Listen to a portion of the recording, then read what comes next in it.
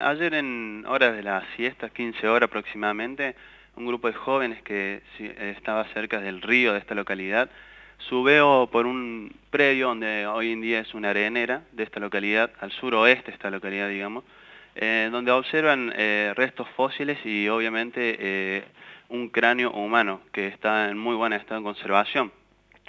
Los mismos dan aviso obviamente al personal policial de esta localidad, quien se presente en el lugar eh, de forma inmediata, contactando, contactando a previa vista eh, los restos fósiles y varios restos que no se determinan si eran humanos o no.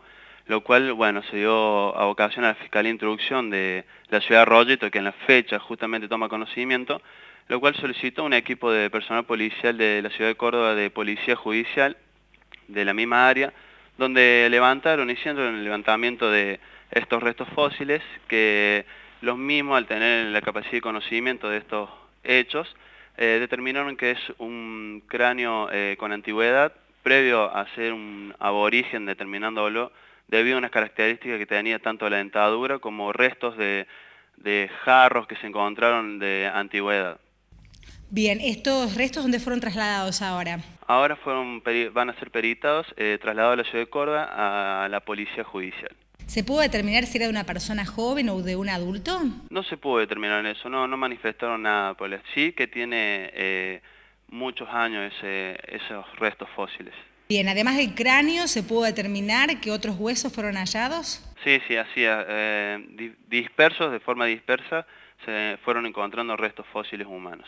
¿Se dio participación a, alguien de algún museo también para intervenir en esta circunstancia?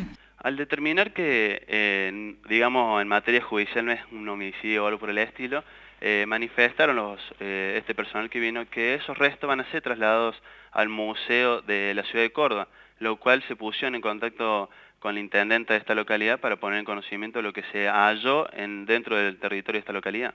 Bien, ¿suele ser común este tipo de hallazgos allí en esa zona que sabemos que cuenta con mucha historia?